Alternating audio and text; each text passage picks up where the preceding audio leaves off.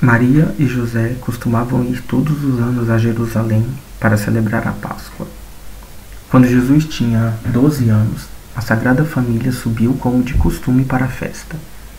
Mas quando voltaram, Jesus não voltou com eles. Como viajavam em grandes grupos, José e Maria pensavam que Jesus estaria com seus parentes ou amigos.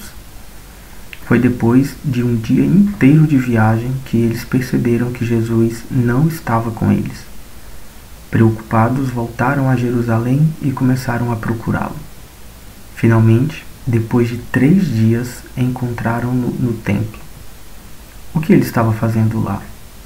Estava sentado entre os professores. Ele ouvia-os e fazia-lhes perguntas. E todos os que o ouviram ficaram espantados com a sua compreensão e as suas respostas.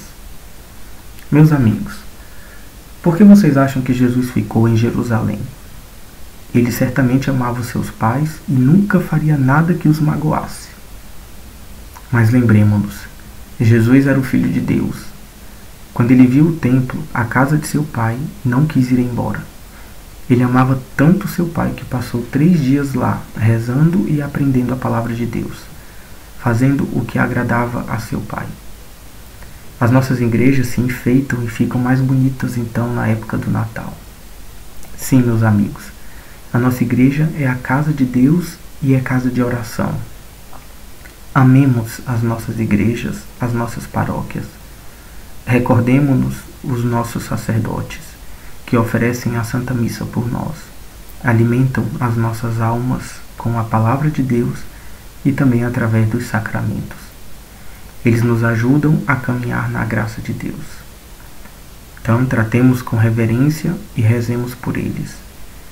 E rezemos também pelos nossos catequistas, que abrem os nossos corações e mentes para a fé e nos aproximam de Deus. Rezemos.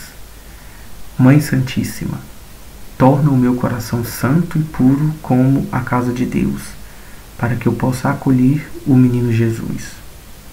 O Evangelho nos diz: Jesus cresceu em sabedoria e estatura e em favor de Deus e dos homens. Como proposta de atividade, hoje vamos rezar pelo nosso pároco e, se possível, façamos também o cartão de Natal para ele.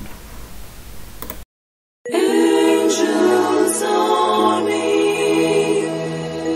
angels army.